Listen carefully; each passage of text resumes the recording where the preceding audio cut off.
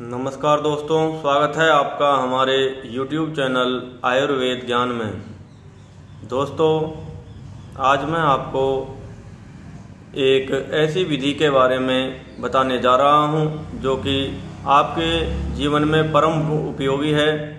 और दोस्तों, इस प्रयोग को करने से आपका सहस्त्रार चक्र जागृत हो जाएगा, और यह बहुत ही साधारण और सरल प्रयोग है। इसे बालक, बच्चे, वृद्ध, स्त्री, पुरुष कोई भी कर सकता है, दोस्तों। दोस्तों, आयुर्वेद में कहा गया है, यद ब्रह्मांडे, तद पिंडे। जो इस ब्रह्मांड, यानी इस आकाश, पृथ्वी, इस सब में है, वही सब कुछ हमारे शरीर में है।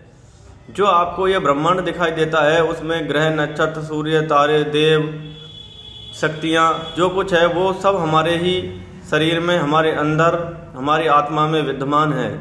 तो दोस्तों, आज मैं सहस्त्रार चक्र को जागृत करने की एक बहुत ही सरल और सहज विधि का वर्णन कर रहा हूँ। ध्यान से सुने और इसे अपने जीवन में प्रयोग करें।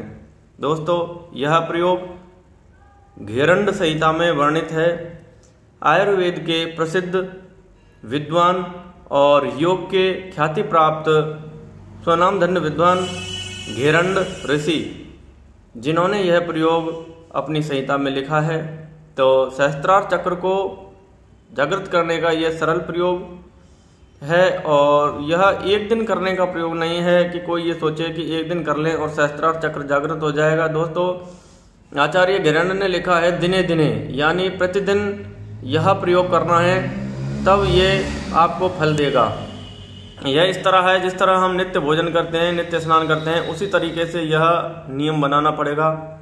तब इसका आपको, अगर आप नित्य प्रति करेंगे तो कुछ दिनों में आपको इसका फल दिखाई देगा। तो दोस्तों, सहस्त्रार चक्र होता है, हमारे सिर पे जहाँ हम शिखा रखते हैं, यानी जहाँ ब्राह्मण लोग, साधु संत या जो भी कोई सिखा रखते हैं चोटी। तो यह स्थान हमारे सर के बिल्कुल पीछे की तरफ़ होता है। तो यहाँ सहस्त्रार चक्र होता है दोस्तों। और सहस्त्रार चक्र हमारे बुद्धि, विवेक, सोचने, विचारने की शक्ति का मुख्य केंद्र होता है। यहीं से हमारा मस्तिष्क का कार्य संचालन होता है। तो मस्तिष्क के कार्य संचालन का मुख्य केंद्र सहस्त्रार चक्र है। और सहस्त्रार चक्र जब जागृत हो जाता है तो आलस्य तो यूँ ही समाप्त हो जाता है और विचारों में एक क्रांति आ जाती है। विचार परम पवित्र होते हैं। पूरा शरीर एक प्रकार की ऊर्जा से भरा हुआ होता है। बिना किसी थकान के मनुष्य अपना कार्य कर सकता है।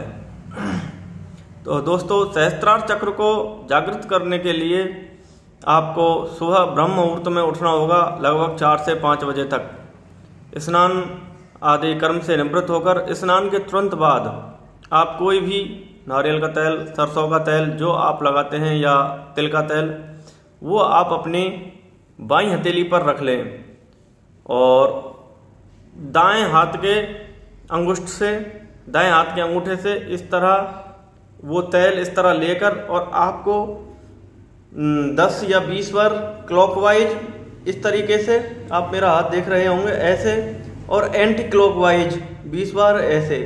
ऐसे आप जितनी संख्या में कर सकते हैं, बीस, तीस, चालीस। तो सहस्त्रार चक्र की मसाज करें तेल से। तो दोस्तों, आपने देखा होगा कि अधिकतर लोग, हम सभी जब नहा लेते हैं तो हम पूरे शरीर में और सर में तेल लगा लेते हैं, लेकिन हमारा ध्यान सर के पीछे के भाग पे नहीं जाता, जहाँ सहस्त्रार चक्र होता है, जहाँ हम चोटी रखते हैं। तो यही कारण है कि यह सहस्त्रार चक्र की जो शक्ति है, वह सुसुप्त हो जाती है, वह सोई हुई होती है। यह होती तो प्रत्येक मनुष्य में है, लेकिन यह जागृत अवस्था में नहीं होती है, और इसे जागृत अवस्था में लाने के लिए प्रतिदिन नहाने के तुरंत बाद सरसों, तिल अथवा नारियल जो भी तेल आप लगाते हैं, उसे बाई हथेली पर रखें और दाएँ हाथ के अंगूठे से यहाँ क्लॉकवाइज और एंटी क्लॉकवाइज इस तरीके से इसकी मसाज करें। तो आप देखोगे, कुछ ही दिनों में आपको इसका प्रभाव दिखाई देगा। एक अलग ही प्रकार की ऊर्जा आपसे आपका शरीर ओतप्रोत रहेगा। थकान, आलस्य आदि सब दूर रहेंगे। विचार एकदम पवित्र और उत्कृष्ट हो जाएँगे। विचारों में एक प्रकार की सफ़ाई आ जाएगी दोस्तों, और जो क्षुद्र विचार हैं, जो वासनाओं में लिप्त जो लोग रहते हैं, उनके ऐसे कुत्सित विचार दूर हो जाएँगे। तो दोस्तों, आज का मेरा वीडियो आपको कैसा लगा, आप मुझे कमेंट कर बताएँ, और हमारे चैनल को अगर आपने अगर अभी तक सब्सक्राइब नहीं किया है तो इसे सब्सक्राइब करें, लाइक करें और कमेंट करें। जय हिंद, जय भारत।